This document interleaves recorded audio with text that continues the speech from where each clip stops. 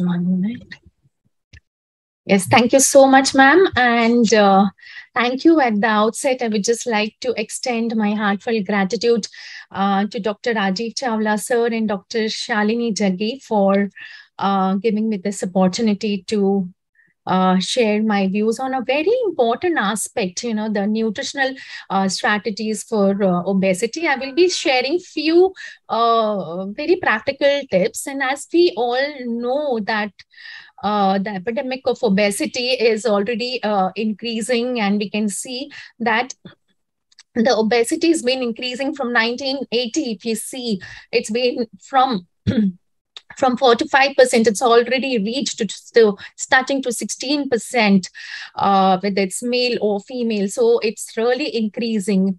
When we also talk about about pre-diabetes we also see that the incidence of pre-diabetes is also increasing and where we as a paramedical we uh, do face you know uh, uh, such cases uh, with I with uh, you know pre-diabetes and with obesity. So it becomes very very important for us to um, for the primary prevention uh, is very very important where we need to really focus. When we see the we've also seen the prevalence of diabetes and pre-diabetes in this uh, 15 states in the icmr INDIAB study where where the uh, the prevalence has actually we can see all over in the different 15 states it's almost from 4 uh, percent to almost 13 percent uh, is uh, it is prevalent. So we can already see that the prevalence of uh, pre-diabetes is increasing. So what are why do we need to really detect and treat these pre-diabetes so that we can actually decrease the uh, uh, complications uh, maybe at the macrovascular level or even at the microvascular uh, level so uh, hence we need to understand and when we see obesity combining with type 2 diabetes they are the uh, they are at about six times more risk of developing type 2 diabetes. So that is why we need to treat pre-diabetes and there are n number of papers and the most the most uh, uh, the common the most important paper which we have been really talking about is the dpp trial which we have seen that the lifestyle intervention was uh, uh the lifestyle changes could actually show that uh, it could reduce um, uh, uh, with the with uh, with the intensive lifestyle modification could actually reduce the could prevent them with diabetes.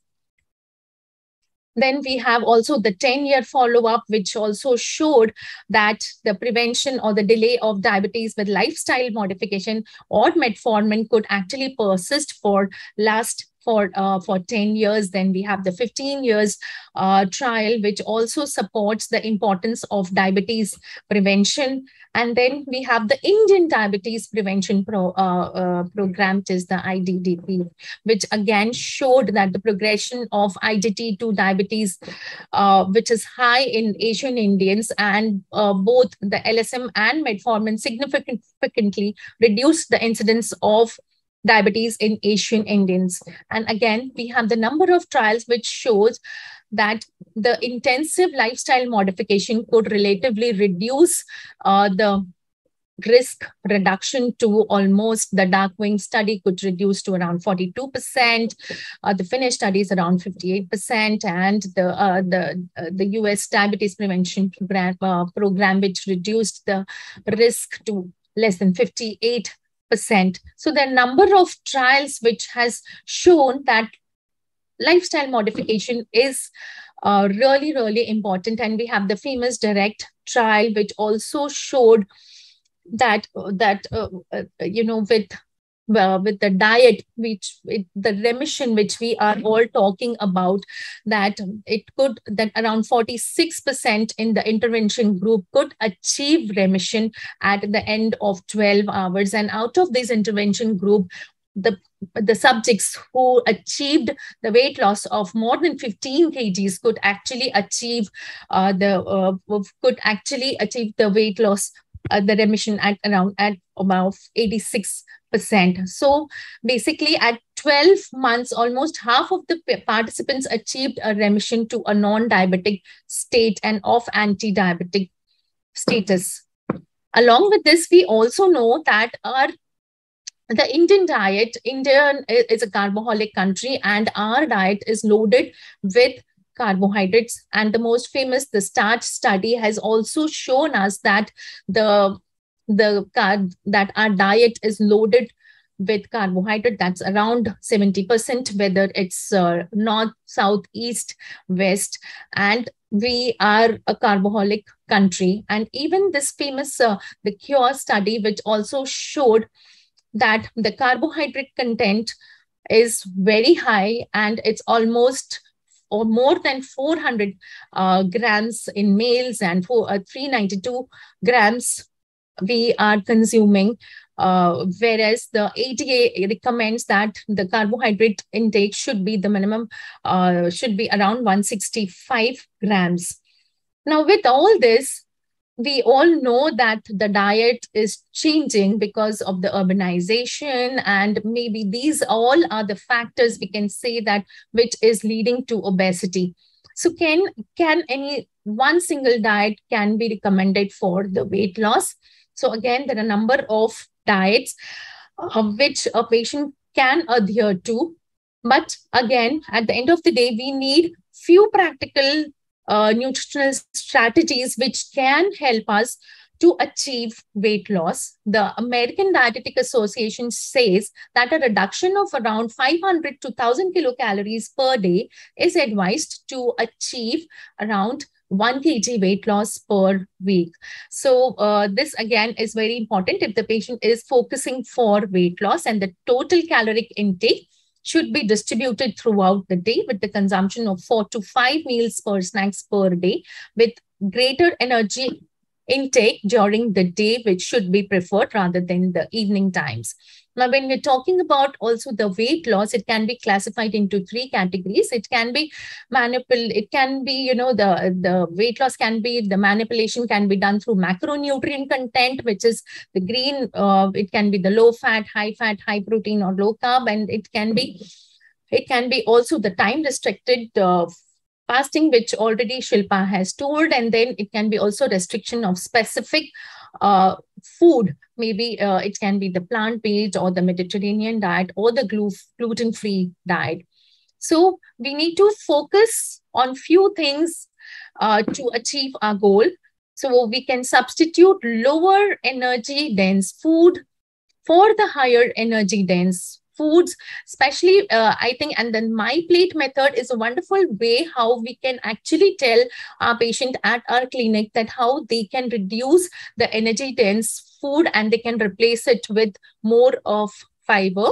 They can decrease the uh, energy dense even at the main course. So uh, that's very very important because usually when we are hungry we start eating a lot of carbs.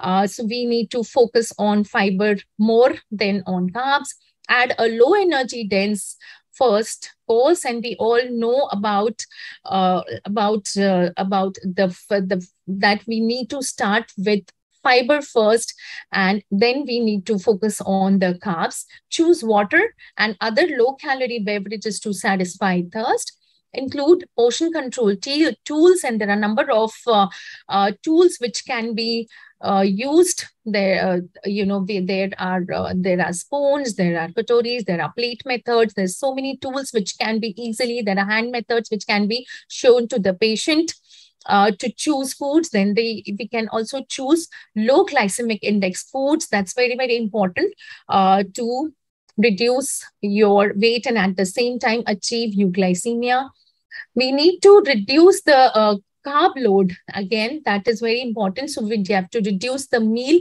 frequency. It's not necessarily that we need to eat.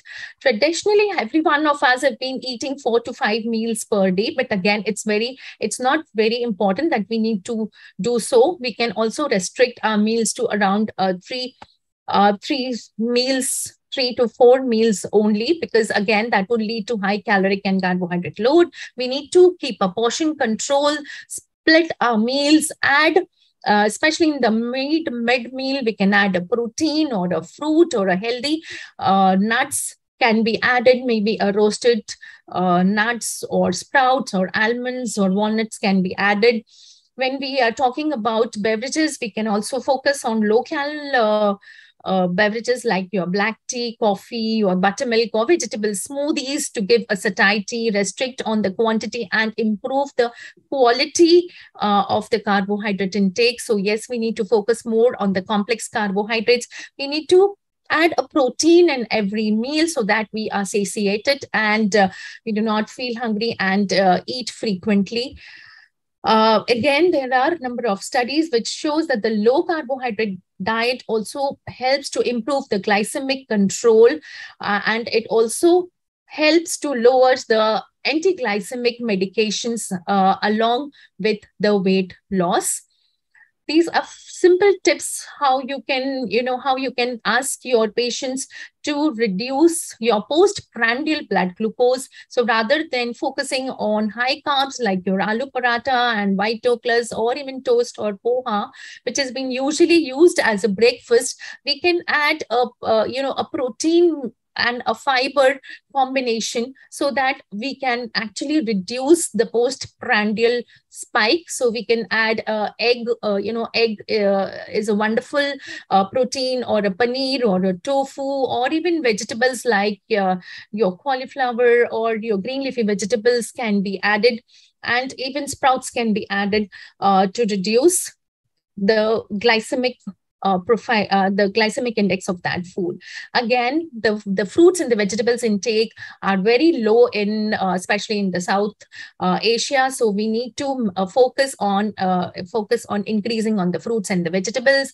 We also need to increase on the fruits and the vegetables. we should also know that for India, the low intake of fruits and vegetables is causing higher deaths than intake of high sodium and trans fats. So hence, we need to focus more on fruits and vegetables. And this is a snapshot of the picture, which is just taken today by a wonderful lecture by Dr. Anjana, who uh, who has just uh, beautifully shown this plate uh, which which will uh, you know which will prevent uh, which where we can show that the people this is the plate for the normal uh, glucose tolerance and this is the plate with a little modification where we can reduce a little amount of the carbohydrates increase the proteins and the fat can be almost the same and the dietary fiber can increase a little.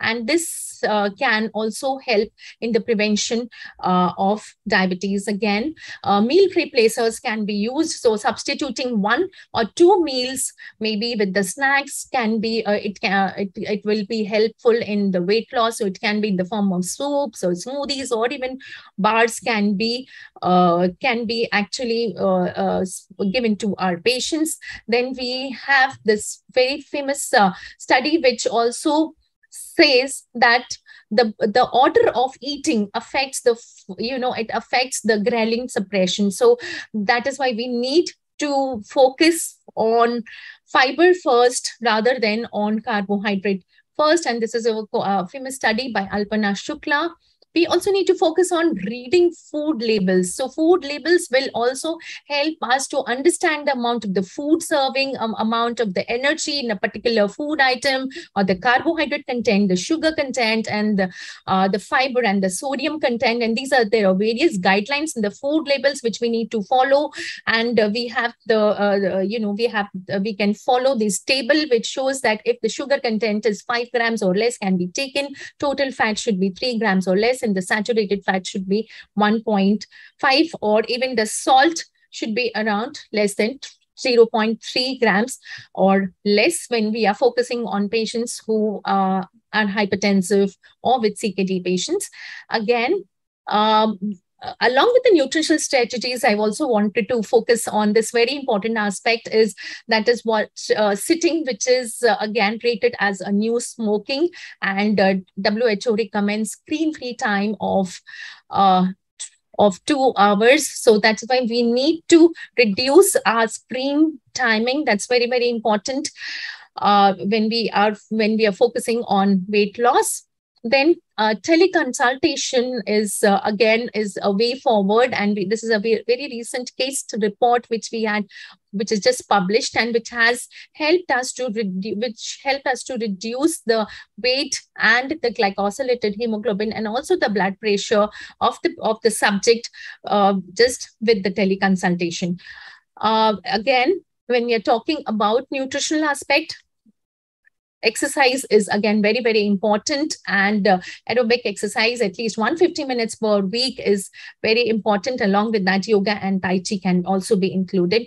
And finally we have this plate by rssdi which also shows us that the carbohydrate should be limited to around 50%. I would say 50 to 60%, but 50% is better and increase the amount of the protein, fat, uh, the good quality fat should be focused and we need to increase our diet and more in fruits and vegetables and pulses. So finally, we need to learn to make our lifestyle changes and not the diet. So when we are focusing for a long time period, we need to focus on LSM. And there is, we all know that there is not an ideal percentage of calories from macronutrients, as there is no one size fits all. So we need, we all know that diet has to be highly individualized, simple, structured, consistent as per the current eating patterns and preferences uh, and metabolic goals. So uh, everything we need to understand finally, that mindful eating is the key to success. Thank you. Thank